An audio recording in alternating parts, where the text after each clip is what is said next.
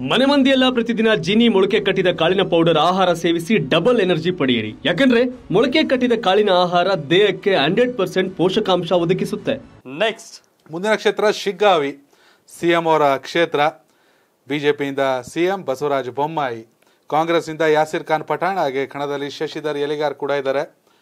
ಕಿಚ್ಚ ಸುದೀಪ್ ಹೋಗಿ ಬೊಮ್ಮಾಯಿ ಮಾಮನ ಪರ ಭರ್ಜರಿ ಪ್ರಚಾರವನ್ನು ಕೂಡ ಮಾಡಿ ಬಂದಿದ್ದಾರೆ. ಎಸ್ ಬೊಮ್ಮಾಯಿ.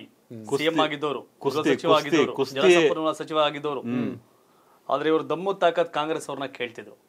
ಕಾಂಗ್ರೆಸ್ ಅವ್ರಿಗೆ ದಮ್ಮು ತಾಕತ್ ಯಾವ್ದು ಇಲ್ಲ ಅನ್ನೋದನ್ನ ಕ್ಯಾಂಡಿಡೇಟ್ ವಿಚಾರದಲ್ಲಿ ಪ್ರೂವ್ ಮಾಡಿದ್ದಾರೆ. ಬಾರಿ ವಿನಯ್ ಕುಲಕರ್ಣಿ ಬರ್ತಾರೆ. ಬಂದ್ರೆ ಇಲ್ಲಿ ಕಷ್ಟ ಬೊಮ್ಮಾಯಿ ಸೋಲ್ತಾರೆ. ಅನ್ನೋ ಚರ್ಚೆಯ ನಡುವೆ ಆ ಎಲ್ಲಾ ಸರ್ವೆಗಳಾದರೂ ಸಹ ಆದ್ರೆ ಕಾಂಗ್ರೆಸ್ನವ್ರು ಕರೆದ್ರು ದಮ್ ಇದ್ರೆ ತಾಕತ್ತಿದ್ರೆ ಅಂತ.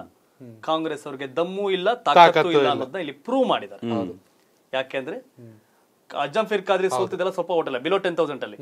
ಆ ಅಜ್ಜಂ ಫಿರ್ ಖಾದ್ರಿ ನಾನು ಯಾವಾಗ್ಲೂ ಹೇಳ್ತೀನಿ ಅಲ್ಪಸಂಖ್ಯಾತರ ಮತಗಳಿಂದ ಕಾಂಗ್ರೆಸ್ ಯಶೋ ಸರ್ಕಾರ ಗೆಲ್ತಾ ಇದ್ದಾರೆ.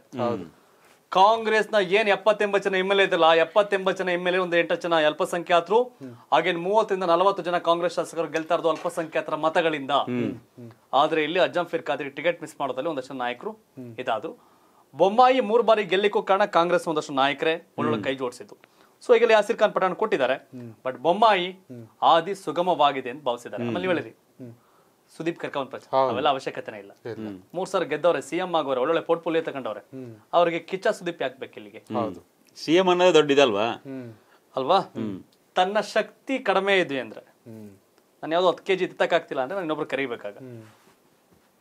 ಹಾಗಾಗಿ ಅವರ ಕ್ಷೇತ್ರಕ್ಕೆ ಕಿಚ್ಚ ಸುದೀಪ್ ಅವ್ರನ್ನ ಕರೆಸಿ ಪ್ರಚಾರ ಮಾಡುವಂತ ಅನಿವಾರ್ಯತೆ ಇರಲಿಲ್ಲ ಅದಿನ್ನೊಂದು ಕ್ಷೇತ್ರ ಕಳಿಸಬಹುದಾಗಿತ್ತು ಹೌದು. ಬಟ್ ಶಿಗ್ಗಾವಿನಲ್ಲಿ ಬೊಮ್ಮಾಯಿಯವರ ಆದಿ ವಿನಯ್ ಕುಲಕರ್ಣಿ ಬಾರದ ಕಾರಣ ಅಜ್ಜಂ ಫಿರ್ ಖಾದ್ರಿ ಇಲ್ಲದ ಕಾರಣ ಅಖಾಡದಲ್ಲಿ ಬೊಮ್ಮಾಯಿಯವರು ಆರಾಮಾಗವ್ರೆ ಹ್ಮ್. ಅಂತ ಎಲ್ಲ ಹೇಳ್ತಾವ್ರೆ.